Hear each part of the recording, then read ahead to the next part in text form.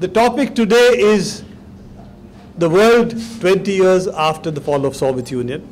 And the reason for this is I think we need to look forward to what the future holds. Instead of the withdrawal of the colonial powers, we are getting a certain sense of recolonization of the world, which you can see most sharply in what is happening in West Asia and North Africa. So that's, we see again NATO becoming the more much more dominant military uh, force intervening now in different parts of the world. So we do see wars and recolonization sort of taking place in the world today. And finally, we also would like to address what has left internationally. What are the what is that left that it that what can the left do? What are the kind of global alignments that are possible? What kind of interventions are possible at the local, at the regional, at the national, as well as at the international level? I would start with Professor Aijaz to tell us what is how does he see the world post-Soviet Union and what are the challenges that we face today? My first impression upon seeing the title was that uh, we are dealing here not with one topic but two. There's one topic given in the first line, then there's a second topic in the second line. The first invites us to consider the consequences of the collapse of the USSR and the communist state systems as such, as we see it now 20 years later. The second topic having to do has to do with the here and now of contemporary challenges before the left, brings us into the world of the current economic crisis of capitalism, the ongoing imperialist wars, the Arab Spring, the popular demonstrations against neoliberal extremism across Europe, um, and indeed in many countries across the world, from Israel to Chile, none of which would appear to be connected with the dissolution of the socialist state system as such. It is perhaps the task of this panel to draw out the connections between the two apparently different topics. Let me begin then uh, with spelling out some of the continuities in imperialist offensives and the capitalist system regardless of the fate of the USSR as such. For instance, the imperialist wars of today are by no means more savage than the wars in Vietnam and the Indo-Chinese countries, or the Israeli occupation of large territories, uh, Palestinian, Egyptian, and Syrian, in 1967, or other wars of settler colonialism in Algeria and Portuguese colonies, uh, the, so the first point is that the contemporary wars, savage as they are, are by no means more savage than the ones that were undertaken throughout the 60s and 70s and early 80s, during the period when the USSR was very much alive and well. Uh, the first neoliberal regime, neoliberalism is not an effect of the collapse of the USSR. The first neoliberal regime emerged in Chile in 1973, and neoliberalism had become the dominant element in economic statecraft in the USA and Britain by 1980. European Monetary Union of 1992 established the neoliberal regime on the continent as well. Now, the consequences of the dissolution of the socialist state system is obviously a complex topic uh, that cannot be fully addressed, nor perhaps need be addressed in so brief a presentation. Let me begin by recounting four major consequences, and I may bring up more in due course. First, the Warsaw Pact countries had been the great source of material support, above all as suppliers of military equipment for the national liberation movements of that era so that the anti-imperialist forces in, in Indochina or in the Portuguese colonies or in Palestine were not nearly as defenseless as they have been during the more recent invasions from Iraq to Libya, not to speak of Palestine itself. They were also a major source of technology transfer and even military equipment for countries such as India and Nasser's Egypt, providing a backbone to the non-aligned movement. Moreover, multilateral institutions such as the UN Security Council were not so much a plaything of the imperialist forces as they are now.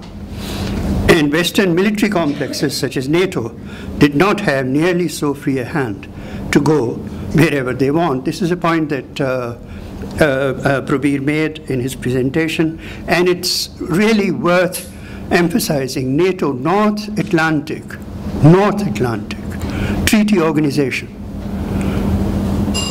is fighting wars in Afghanistan and Libya and may fight further in inland in Africa.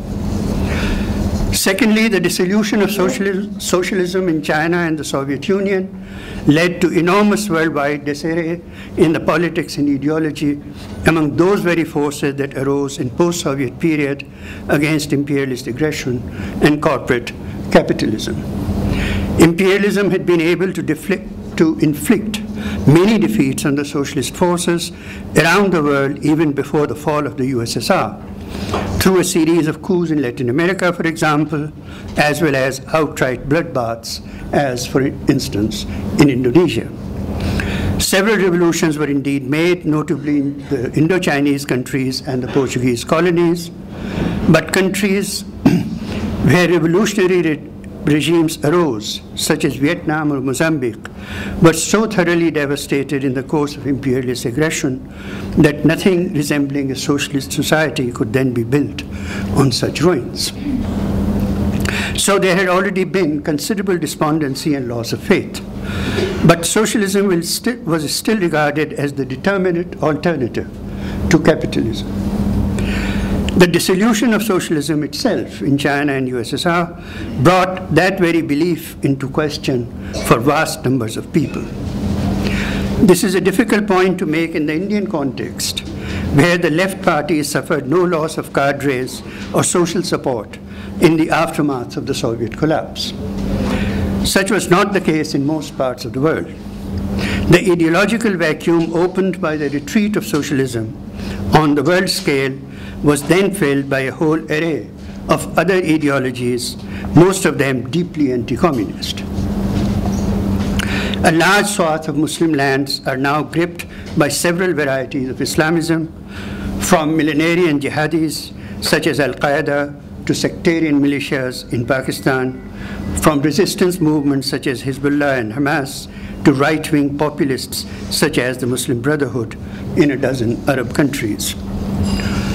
Among the secular forces across the globe, other kinds of ideologies are ascendant, such as anarchism, left liberal reformism, postmodernisms of various kinds, the network politics of NGOs and corporate funded social movements, not to speak of anti organizationalism that relies heavily on instant mobilizations through the internet, which then sub subside just as quickly.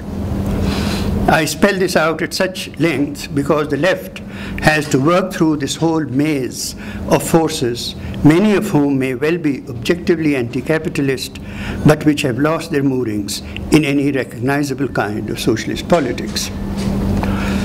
In this context of the collapse of the socialist alternative and political fragmentation and disarray among the anti-capitalist forces, capitalism has waged a savage war to take back everything that the working classes and peoples of the world had won in the course of the 20th century through struggles for socialism and national liberation movements.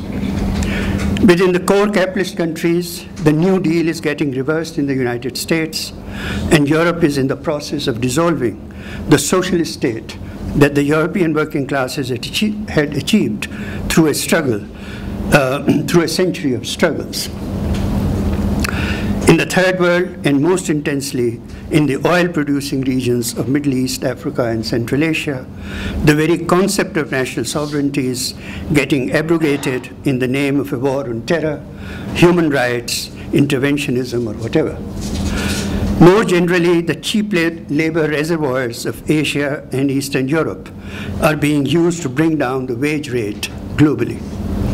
All in all, the past 20 years have witnessed a great shift of incomes from the poor to the richest segments of the world that was inconceivable during the period when socialism was still perceived by large masses of people as a viable alternative.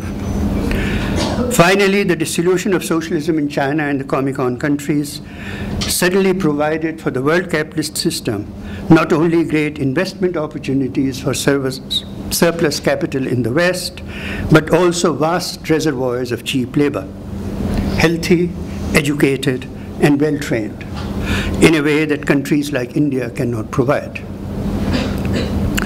Where would US corporations such as Walmart be?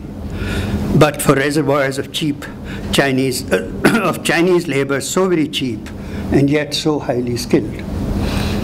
The same is true of a whole array of American, European, and Japanese multinationals who have built massive plants for producing such items as electronic goods in coastal China, mainly with a view of cutting labor costs.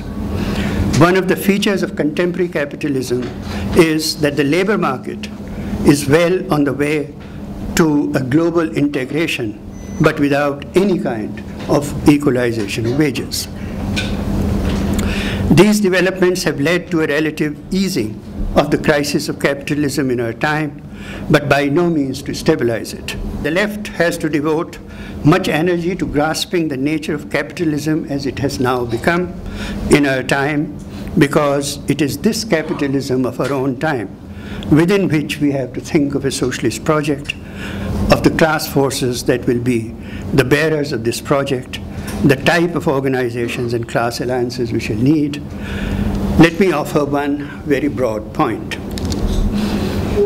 I believe that even in its most stable form, contemporary capitalism has come to the end of its capacity to expand the industrial proletariat.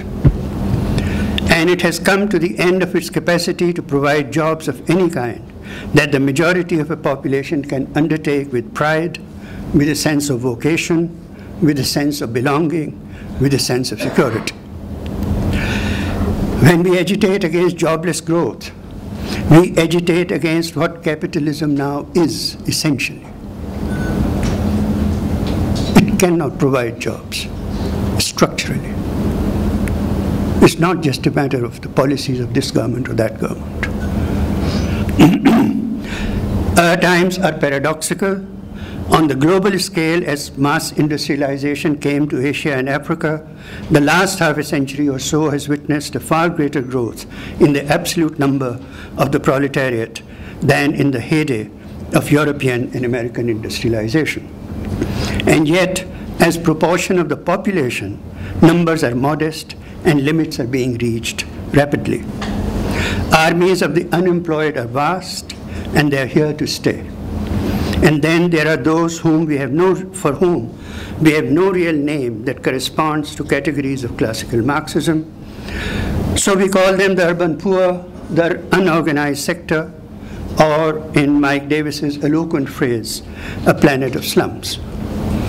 all the great cities of the world are now in the third world, and the majority in all our cities, without exception, belong to this unnameable category. I'm not sure what kind of organizational form arises out of this immense historical novelty. What I'm suggesting very broadly is that, first, all the special qualities that classical Marxism has always associated with the industrial proletariat and the working class generally do continue to apply in our time. Second, in an overwhelmingly agrarian society such as India, the Leninist vision of a worker-peasant alliance equally applies. However, thirdly, and in addition to all that, the time of multi-class alliances and alliances and, org and organizations resting very largely upon those who have no clear class identity is upon us.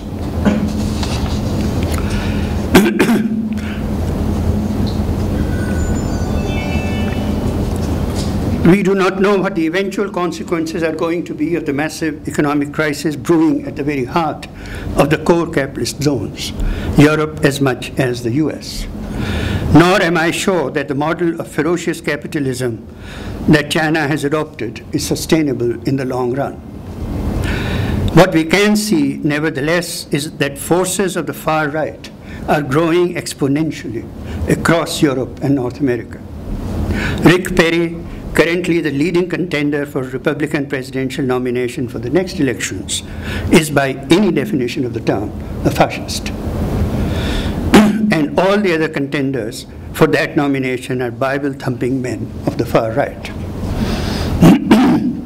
the neo fascist National Front is fast emerging as the second most powerful political force in France, and so on. Extreme forms of neoliberal attacks on the working masses is, in any case, a consensual position among all the significant parties across Europe and North America. However, it is within the realm of possibility that within the next couple of years, we might see in some major Western countries government which are functionally fascist in character. uh, what kind of offensives they will launch against countries of the third world, we shall see. More broadly, and quite irrespective of the fall of the USSR, there has been a sharp decline in US hegemony. This too must be seen in a correct perspective. Transnational capitalism requires a leading hegemonic power that can act as a surrogate state of this capitalism as a whole. Disappearance of such a hegemonic power creates anarchy, turbulence, and disorder within the capitalist system. Secondly, the decline of US hegemony does not mean that any other country or a group of countries can fill that vacuum. Neither China nor the Eurozone is in that position. Third, the US may not be hegemonic in the old way any longer, but it is still the world's most powerful economy still commands the safest currency to store the world's wealth, still has a military machine as powerful as the next 25 other most powerful countries, and is still by far the only one capable of making wars in any corner of the globe at any time. Finally, the more, of, the more it loses of its hegemony, the more desperate and aggressive the US becomes and is likely to remain. A weaker United States does not mean a safer world. In fact, the opposite. This crisis is greatly aggravated by the fact that the contradiction between capitalist growth and the natural resources of this world is fast approaching a point of no return. The entire capitalist model is based on infinite supply of fossil fuels, unpolluted fresh water, minerals of all sorts. As these resources diminish and become scarce, wars and conflicts over them will become more acute.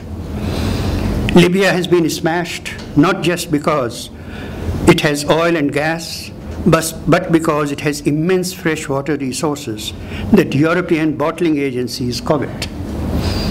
Because it will serve as a major NATO military base for future forays into oil and mineral, minerally rich countries of Africa, and because NATO, NATO and its allies want China out of Libya, Sudan, and elsewhere in Africa, while China is so poor in its own natural resources that its model of capitalist development cannot be sustained without spectacular increases in imports of all such requirements.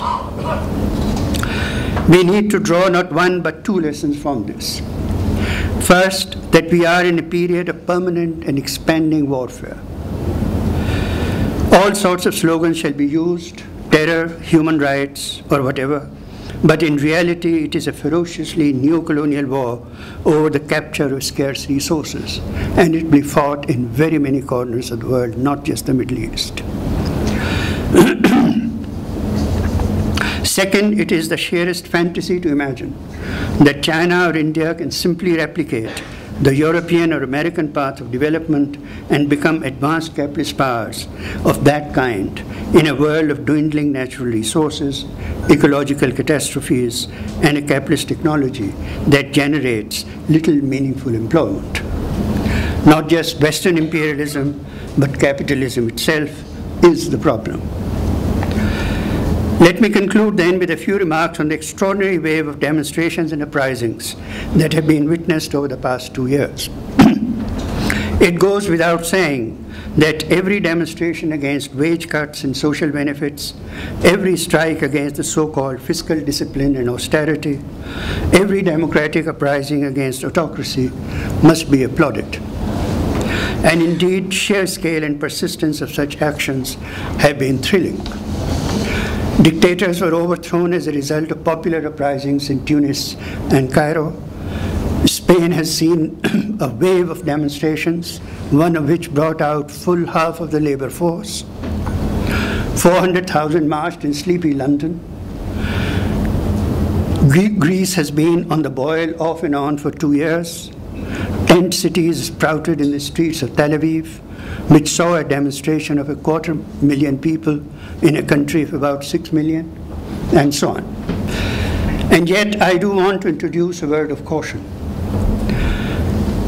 Let me recall Pascal's dictum that Gramsci was fond of quoting optimism of the will, pessimism of the intellect. Without optimism of the will, no socialist action is possible.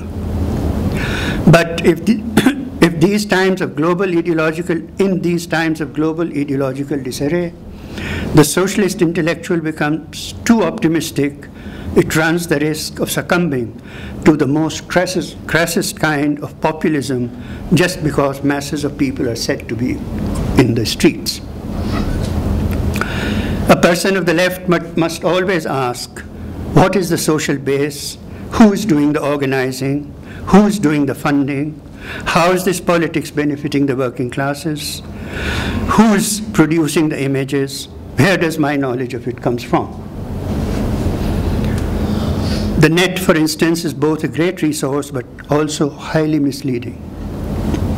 Al Jazeera, the channel so celebrated in the liberal world, will tell you all kinds of lies about Libya and Syria, and never a word about Saudi, Saudi troops in Bahrain. There is no TV channel which is free of disinformation. There is no such thing. the, world has not, the world has not become easier to understand just because we live in the so-called information age. The worst of the austerity plans have been implemented in Spain and Greece by social democratic governments.